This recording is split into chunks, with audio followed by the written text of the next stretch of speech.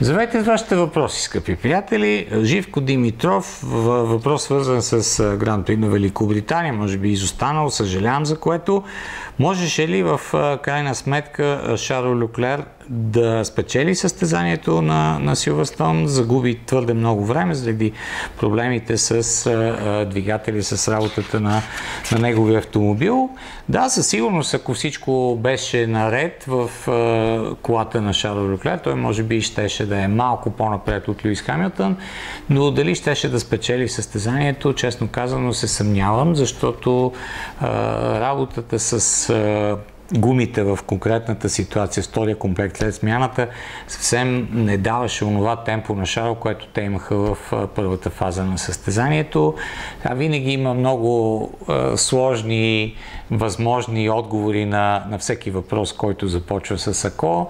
А, в крайна сметка, да, може би ще да натрупа още някоя секунда.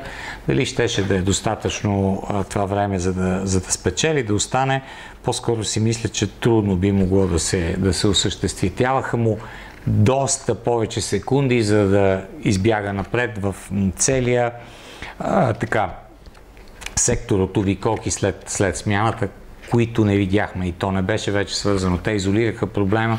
Сега, колко му е коствало всичко това на, на, на Шарл, аз честно казано дори не помня да, да съм видял подобна цифра, някаква информация, която Ферари да споделят. Те, те и не го правят достатъчно често, за разлика от другите отбори, които доста така по, по-точно изпращат информация. Примерно, че загубата на скорост в една обиколка заради изчупени компоненти е била една или друга. Така че крайна сметка всичко това е част от историята. Направих едно добро състезание и общо взето един добър сезон до момента прави екипа на Ферари и Шаро Люклер в частност. Благодаря за въпроса. Ще бъдем отново заедно съвсем скоро.